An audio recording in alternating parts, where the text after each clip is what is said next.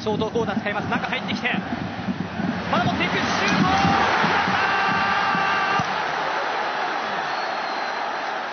中野義弘のゴール2対1このゲーム2対1フロンターレからレンタル移籍。さあ盛り上がる。中野義弘が鼓舞します。得意のドリブル。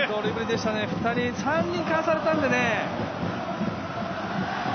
まあエリア内なんでねうかつに足出せないんでね、まあ、でもシュートはスーパーですよ。